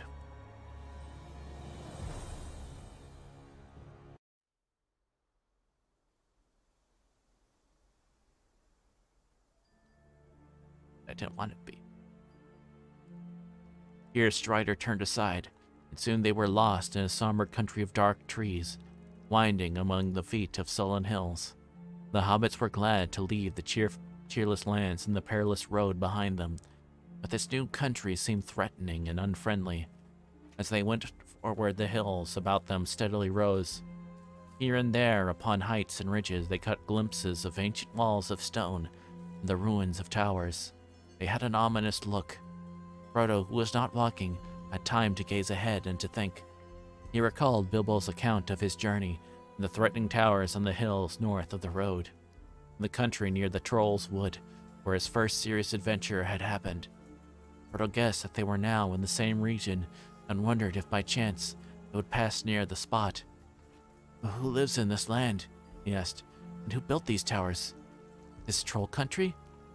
No, said Frodo. Trolls do not build. No one lives in this land. Men once dwelt here ages ago, but none remain now. They became an evil people, as legend tells. For they fell under the, under the shadow of Angmar, but all were destroyed in the war that brought, brought the North Kingdom to its end. But that is now so oh, long ago that the hills have forgotten them, though a shadow still lies on the land. Where did you learn? Where did you learn such tales if all the land is empty and forgetful? asked Peregrine. The birds and beasts do not tell, not tell tales of that sort. The heirs of Elendil do not forget all things past, said Strider, and many more things than I can tell are remembered in Rivendell. Have you often been to Rivendell? said Frodo. I have, said Strider. I dwelt there once, and still I return when I may. There my heart is. It is not my fate to sit in peace, even, even in the fair house of Elrond. The hills now began to shut them in. The road behind, behind held on its way to the river Bruinen, but both were now hidden from view. The travelers came into a long valley, narrow, deeply coven, dark and silent, trees with old and twisted roots hung over cliffs and piled up behind into mounting slopes of pine wood. The hobbits grew very weary. They advanced slowly, for they had to pick their way through a pathless country, encumbered by fallen trees and tumbled rocks.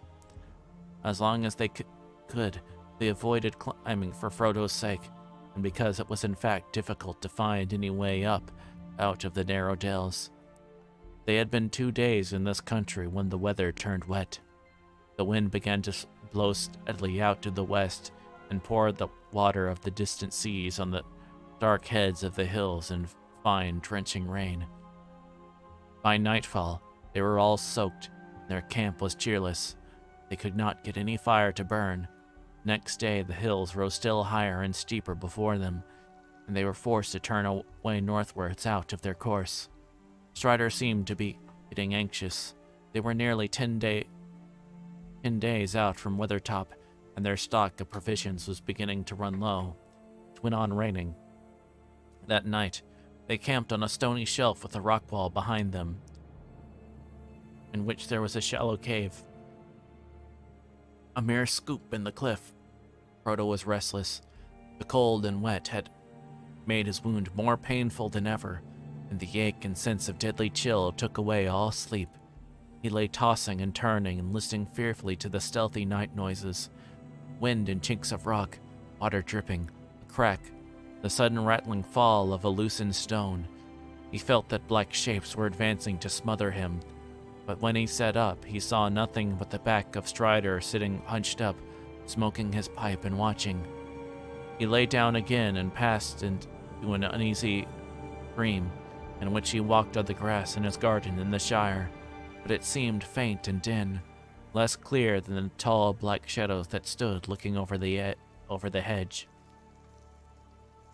In the morning, he woke to find that the rain had stopped. The clouds were still thick. They were breaking, and pale strips of blue appeared between them. The wind was shifting again. They did not start early.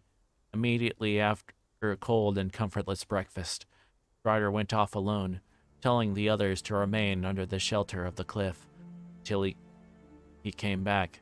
He was going to climb up if he could, get a look at the lie of the land. When he returned, he was not reassuring.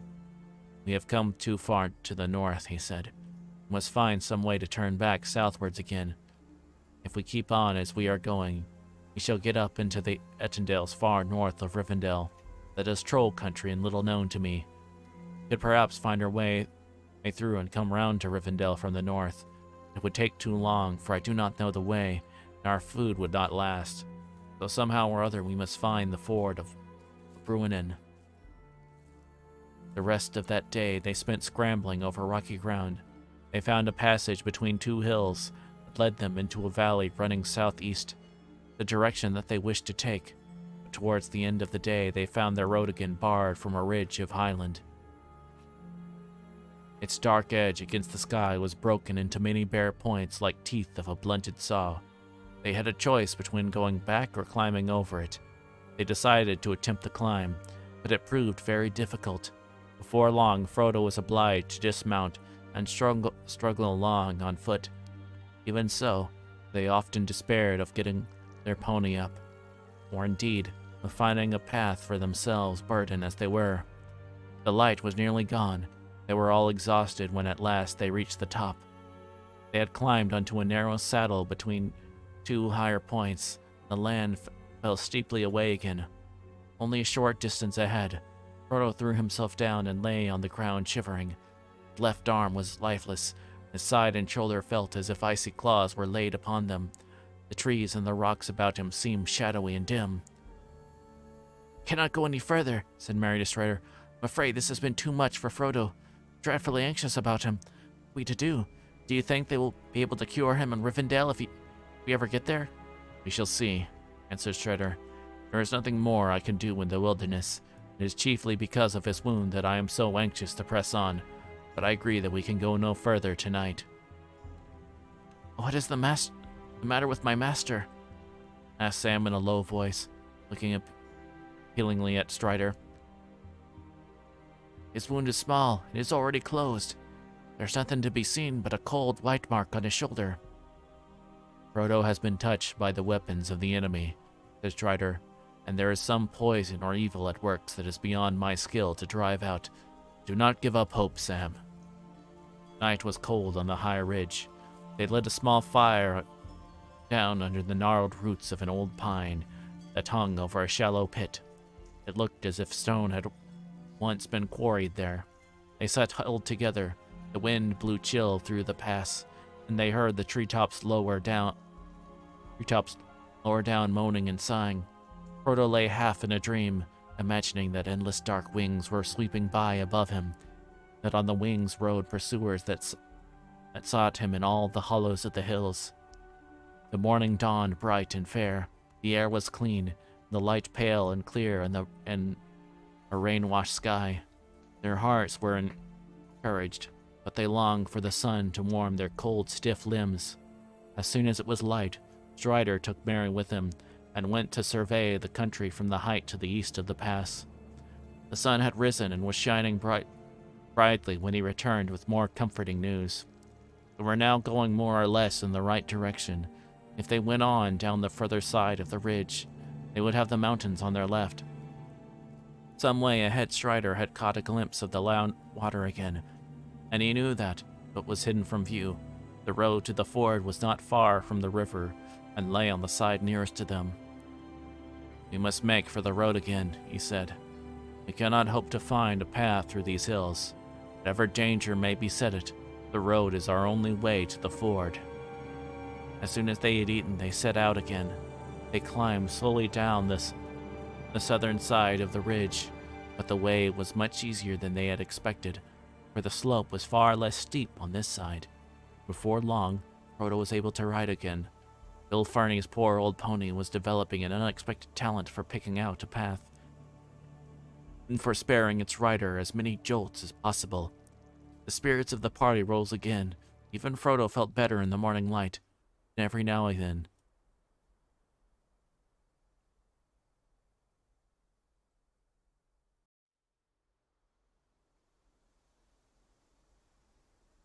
Every now and then, now and again, a mist seemed to obscure his sight, and he passed his hands over his eyes. Pippin was a little ahead of the others. Suddenly turned around and called to them. There is a path here, he cried. When they came up with him, they saw that he had made no mistake. They were clearly the beginnings of a path that climbed with many windings out of, of the woods below and, and faded away on the hilltop behind places it was now faint and overgrown, or choked with fallen stones and trees. But at one time it seemed to have been much used. It was a path made by strong arms and heavy feet. Here and there old trees had been cut or broken down, and long rock clove and or heaved aside to make a way. They followed the track for some time, for it offered much the easiest way down, but they went cautiously. Their anxiety increased as they came into the dark woods. The path grew plainer and broader, Suddenly, coming out of a belt of fir trees, it ran steeply down a slope and turned sharply to the left round the corner of a rocky shoulder of the hill. When they came to the corner, they looked round and saw that the path ran over a level strip under the face of a low cliff overhung with trees. In the stony wall there was a door hanging crookedly ajar upon one great hinge. Outside the door they halted. There was a cave or a rock chamber behind, in the gloom inside, nothing could be seen. Strider, Sam, and Merry, pushing with all their strength, managed to open the door a little wider. And then Strider and Merry went in. They did not go far, for on the floor lay many old bones. Nothing else was to be seen near the entrance, except some great empty jars and broken pots. Surely this is a troll hole if ever there was one, right, said Pippin, Come out, you two, and let us get away. Now we know who made the path. better get off it quick. There is no need, I think, said Strider, coming out. It is certainly a troll hole. It seems to have been long forsaken. I don't think we need be afraid. But let's go on down warily and we shall see.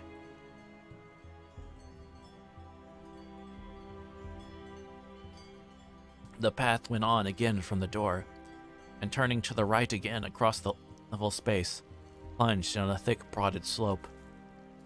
Pippin, not liking to show Strider that he was still afraid, went on ahead with Merry. Sam and Strider came behind, one on each side of Frodo's pony, for the path was now broad enough for four or five hobbits to walk abreast. But they had not gone very far before Pippin came running back, followed by Merry. They both looked terrified. You're trolls, Pippin panted, down in a clearing in the woods not far below. Get a sight of them through the tree trunks. They're very large. We will come and look at them, said Strider, picking up a stick. Frodo said nothing, but Sam looked scared.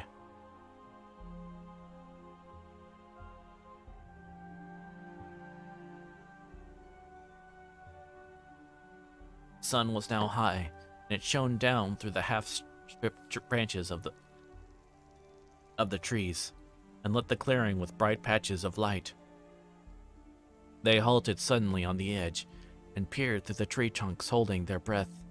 There stood the trolls, three large trolls. One was stooping, and the other two stood staring at him. Strider walked forward unconcernedly. Get up, old stone, he said, and broke a stick upon the stooping troll. Nothing happened.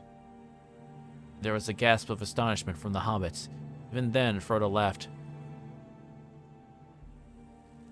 Well, he said, we're forgetting our family history. These must be the very three that were caught by Gandalf, quarreling over the right way to cook 13 dwarves and one hobbit.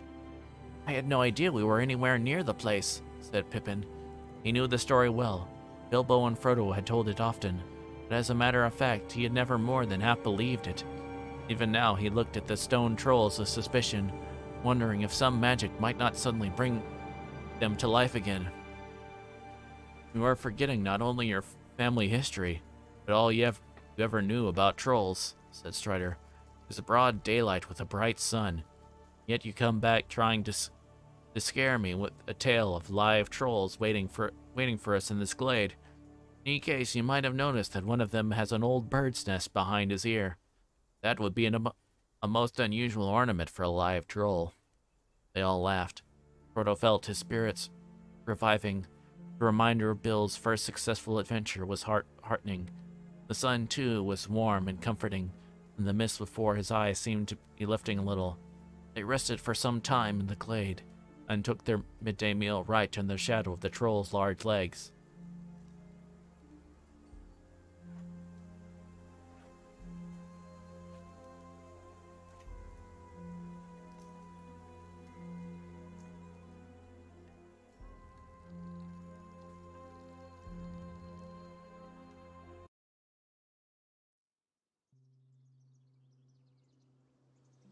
Won't somebody give us a bit of song while the sun is high? said Merry when they had finished. He hadn't had a song or a tale for days. Not since Weathertop, said Frodo. The others looked at him. Don't worry about me, he added. I feel much better, but I don't think I could sing. Perhaps Sam could dig something out of his memory. Come on, Sam, said Merry. There's more stored in your head than you let on about. Don't know about that, said Sam. But how, how would this suit? It ain't what I call proper poetry. You understand me? Just a bit of nonsense. These old images here brought it to my mind. Standing up with his hands behind his back, as if he was at school, he began to sing to an old tune. Troll sat alone on his seat on his seat of stone, and munched and mumbled a bare old bone. For many a year he had gnawed its near, for meat was hard to come by. Done by, done by, gum by. In a cave in the hills he dwelt alone, and meat was hard to come by. Up came Tom with his big boots on. Said he to Troll, Pray, what is yon? For it looks like the shine oh, o' my, nunk my nuncle Tim. I should be a layin' in graveyard, caveyard, paveyard. This been a year has Tim been gone, and I thought he were lying in, in graveyard. My lad, said Troll, this bone I stole, but what be bones that lie in a hole? Thine uncle was, was dead as a lump o' lead, afore I found his shin bone, tin bone, thin bone. He can spare a share for a poor old troll, for he don't need his shin bone. Said Tom, I don't see why the likes o' thee without axe and leave should go making free with the with the shank or, or know my father's kin. So hand the old bone over, rover, trover. Though dead he be, it belongs to he, so hand the old bone over. For a couple of pines, said Troll and grins. I'll eat thee too and gnaw thy shins. A bit of fresh meat will go down sweet. I'll try my teeth on thee now. See now, see now. I'm tired of gnawing old bones and skins. I've a mind to dine on thee now. Just as he thought his dinner was caught, he found his hands had hold of naught. Before he could mind, Tom slipped behind and gave him the, the boot to larn on. Warn him, darn him. A bump o' the boot on the seat, Tom thought would be the way to larn him.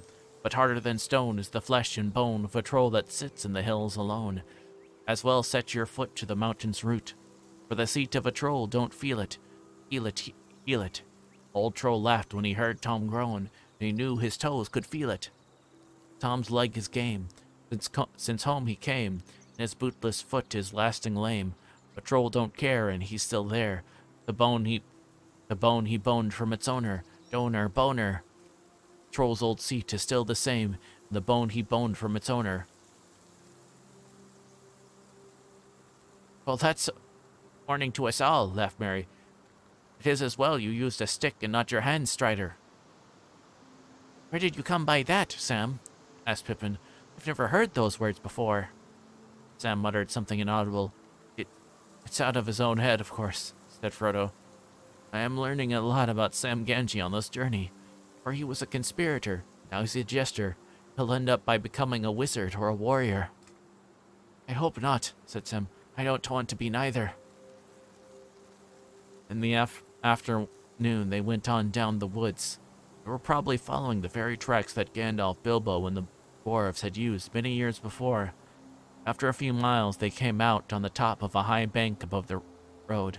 At this point, the, the road had left the Hoarwell far behind in its narrow valley, and now clung close, clung close to the feet of the hills, rolling and winding eastward among woods and, and heather-covered slopes towards the ford and the mountains. Not far down the bank, Strider pointed out a stone in the grass. On it, roughly cut and now much withered, could still be seen dwarf runes and secret marks. There, said Merry, That must be the stone that marked the place where the troll's gold was hidden. How much is left of Bilbo's share, I wonder, Frodo? Frodo looked at the stone and wished that Bilbo had brought no treasure more careless or less easy to part with. Not at all, he said. Bilbo gave it all away. He told me he did not feel it was really his, as it came from robbers. The road lay quiet under the long shadows of early evening. There was no sign of any other travelers to be seen, as there was now oh, no other possible course for them to take. They climbed down the bank and turning left went off as fast as they could. Soon, the shoulder of the hills cut off the light of the fast westering sun. A cold wind flowed down to meet them from the mountains ahead. They were beginning to look out for a place off the road where they could camp for the night when they heard a sound that brought sudden fear back into their hearts, the noise of hoofs behind them. They looked back. They could not see far because of the many windings and rollings of the road. As quickly as they could scramble off the beaten way and up into the deep heather and bilberry brushwood on the slopes above, until they came to a small patch of thick-growing hazels. As they peered out among the bushes, they could see the road faint and gray in the failing light, some thirty feet below them. Sounds of hoofs drew nearer. They were going fast with a light clippity-clip-clip. Then faintly, as if it were blown away from them by the breeze, they seemed to catch a dim ringing as of small bells tinkling. That does not sound like a Black Rider's horse, said Frodo, looking intently. The other hobbits agreed hopefully that it did not. They all remained full of suspicion. They had been in fear of pursuit for so long any sound from behind seemed ominous and unfriendly. Strider was now leaning forward, stooped to the ground with a hand to his ear, and a look of joy on his face.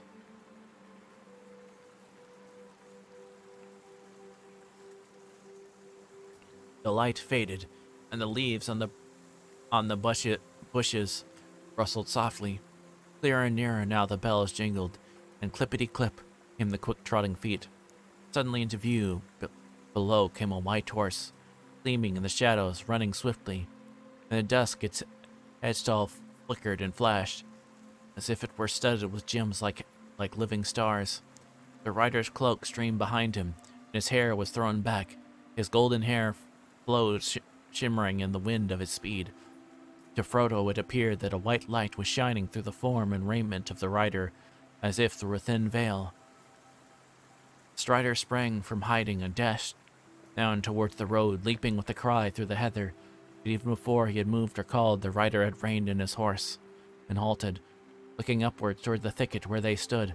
When he saw Strider, he dismounted and ran to meet him, calling out, Einaiv edui dunadin, my govinen. His speech and clear ring of voice left no doubt in their hearts. The rider was of the elven folk. No others that dwelt in the wide world had voices so fair to hear, but there seemed to be a note, a note of haste or fear in his call. I saw that he was now speaking quickly and urgently to Strider. Soon Strider beckoned them, and their hobbits left the bushes and hurried down to the road. This is Glorfindel, who dwells in the house of Elrond, said Strider. Hail, and we meet, and well met at last, said Elflord to Frodo. I was sent from Rivendell to look for you. We fear that you are in danger upon the road. Then Gandalf has reached Rivendell? cried Frodo joyfully. No. He had not when I departed, but that was nine days ago, answered Glorfindel. Elrond received news that troubled him. Some of my kindred, journeying in land beyond the Baranduin, learned that things were amiss, and sent messages as swiftly as they could. They said that the Nine were abroad, and that you, you were astray, bearing a great burden without guidance, for Gandalf had not returned. There are few even in Rivendell that can fight openly against the Nine. But such as they were, Elrond sent out north, west, and south. It was thought that you might turn far aside to avoid pursuit and become lost in the wilderness. It was, was my lot to take the road, and I came to the bridge of Mi- Mitheithel and left a token there nigh on seven days ago. Three of the servants of Sauron were upon the bridge, but they withdrew, and I pursued them westward. I came also upon two others, but they turned away southward. Since then I have searched for your trail.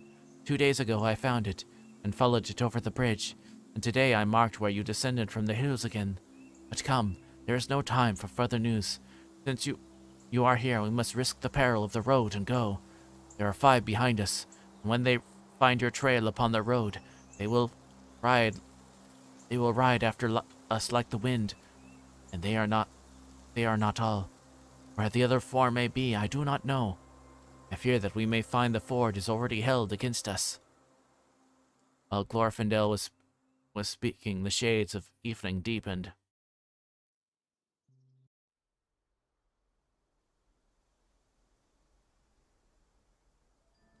Frodo felt a great weariness come over him.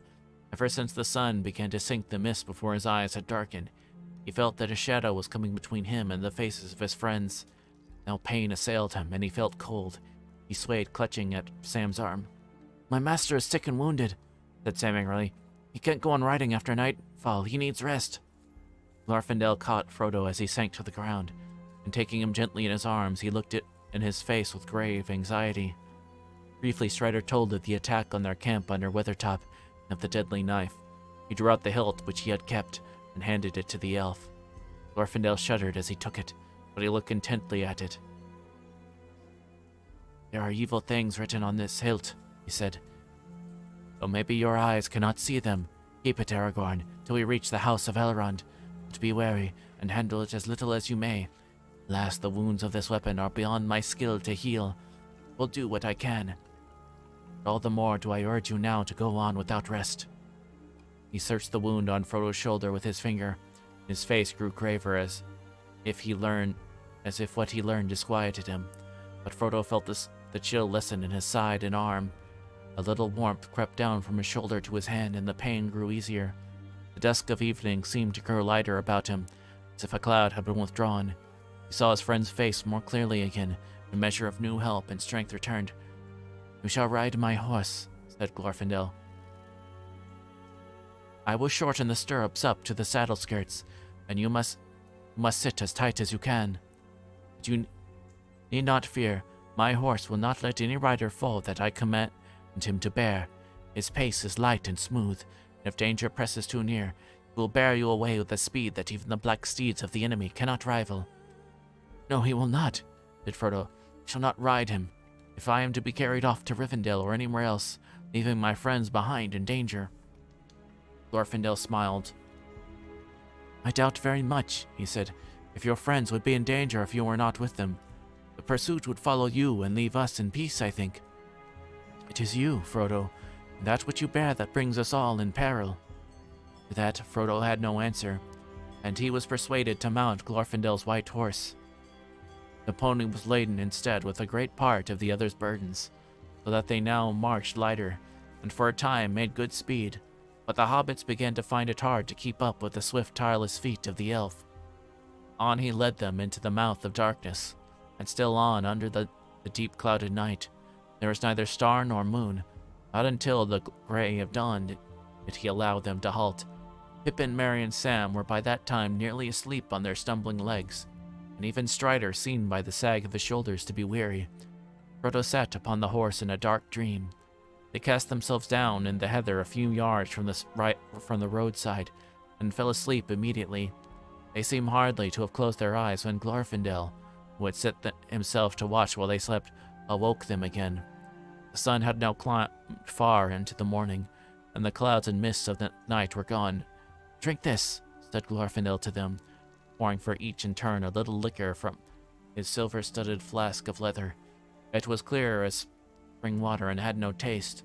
It did not feel either cool or warm in the mouth, but strength and vigor seemed to flow into all their limbs as they drank. Eaten after that, throughout the stale bread and dried fruit, which was now all they had left, seemed to satisfy their hunger better than many a good breakfast in the Shire had done. They had rested rather less than five hours when they took to the road again. Glorfindel still urged them on, and only allowed two brief halts during the during the day's march. In this way they covered almost 20 miles before nightfall, and came to a point where the road bent right and ran down towards the bottom of the valley, now making straight for the Bruinen. So far there, there had been no sign or sound of pursuit that the hobbits could see or hear, but often Glorfindel would halt and listen for a moment. If they lagged behind, and a look of anxiety clouded his face, once or twice he spoke to Strider in the elf tongue. However anxious their guides might be, it was plain that the hobbits could go no further that night. They were stumbling along dizzy with weariness, unable to think of anything but their feet and legs. Frodo's pain had redoubled, and during the day things about him faded to the shadows of ghostly prey. He almost welcomed to the coming of night, but then the world seemed less pale and empty. Oh, hi, Sophie, and thank you for the fluid check.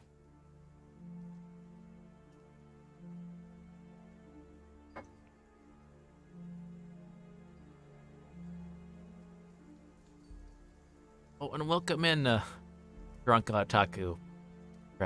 Poet. Thank you. Um, the hobbits were still weary when they set out again, again early next morning. There were many miles yet to go between them and the ford, and they hobbled forward as best pace they could manage. Our peril will be greatest just ere we reach the river, said Glorfindel. For my heart warns me that the pursuit is now swift behind us. Another danger may be waiting by the ford. The road was still running steadily downhill.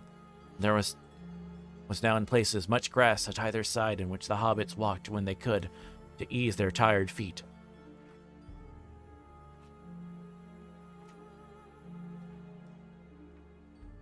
In the late afternoon, they came to a place where the road went suddenly under the dark shadow of tall pine trees and they plunged into a deep cutting with steep, moist walls of red stone. Echoes ran along as they hurried forward. There seemed to be a sound of many footfalls following their own. All at once, as if through a gate of light, the road ran out again from the end of the tunnel into the open. There at the bottom of a sharp incline, they saw for them a long flat mile, and beyond that the ford of Rivendell. On the further side was a steep brown bank, threaded by a winding path. Behind that, the tall mountains climbed, shoulder above shoulder, and peak beyond peak into the fading sky. There was still an echo as of following feet in the cutting behind them, a rushing noise as if a wind were rising and pouring through the branch of the pines. One moment, Glorfindel turned and listened. He sprang forward with a loud cry.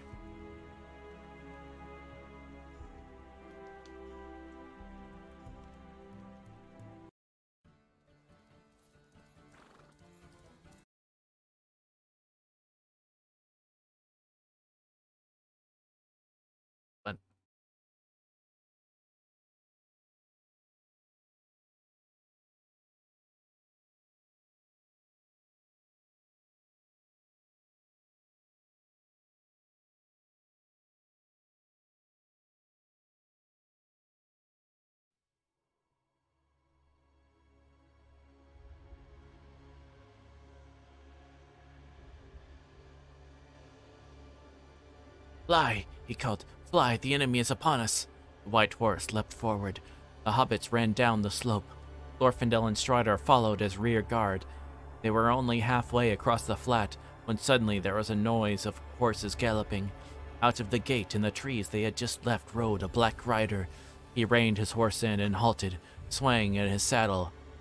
Another followed him, and then another, then again two more. Ride forward, ride, cried Glorfindel to Frodo. He did not obey at once, for a strange reluctance seized him. Checking the horse to the walk, to a walk, he turned and looked back.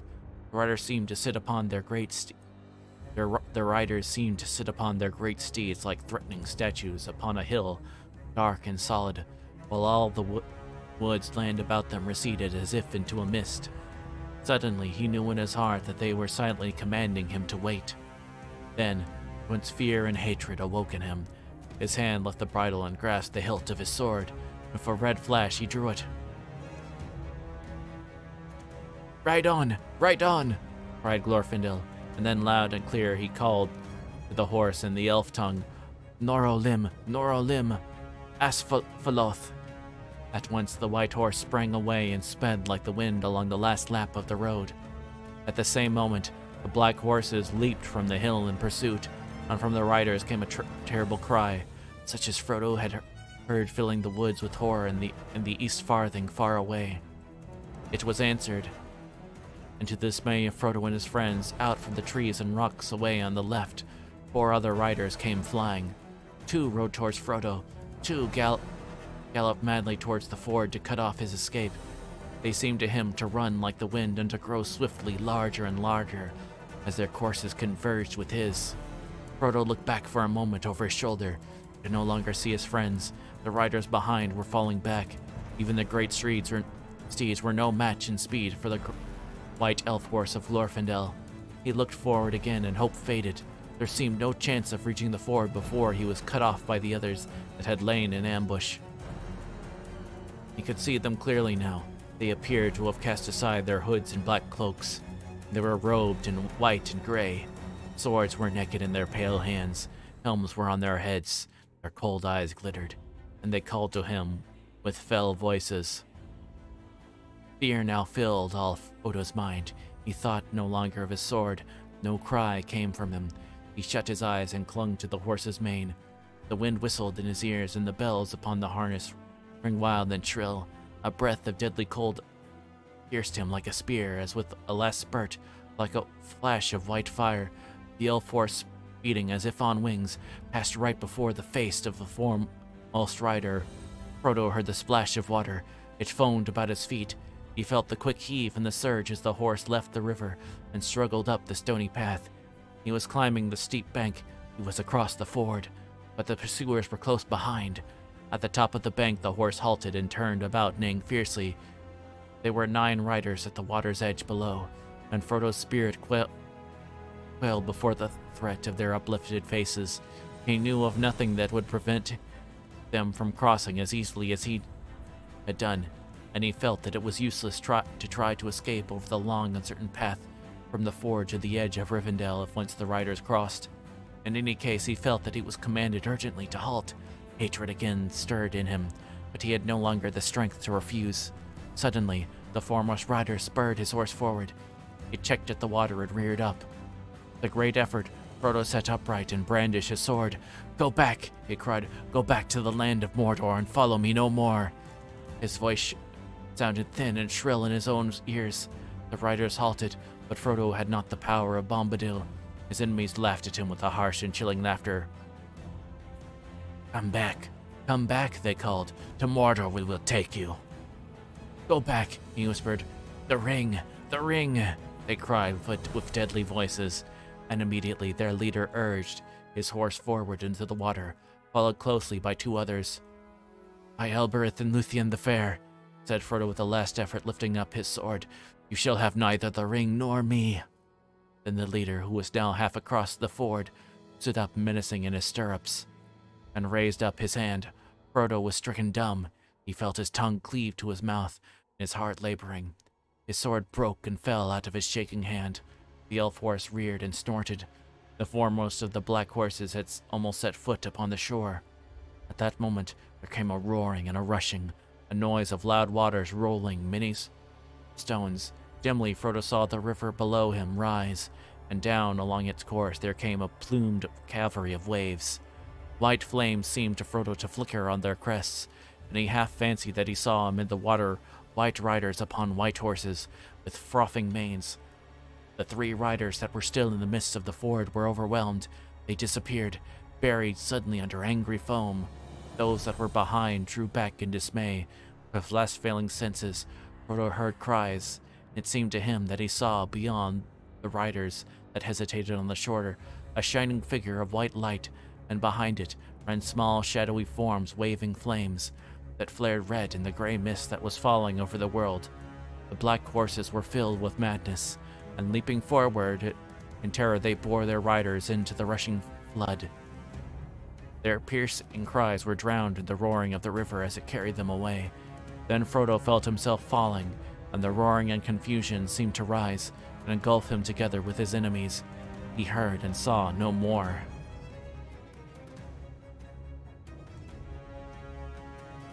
Oh, and with that,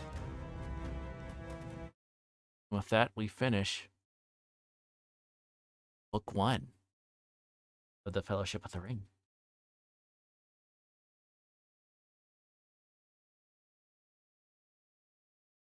Which, let's see, first chapter of the next book is called